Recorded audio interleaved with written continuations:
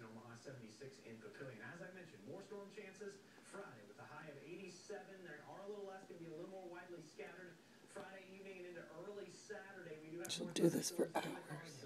Latter half of Saturday and almost all of Sunday pretty girl. okay. The storm chance Sunday on Father's Day very late, and we My baby. quite a bit on Monday. Have also cooled things down quite a bit over the weekend. 83 Saturday, My baby. 86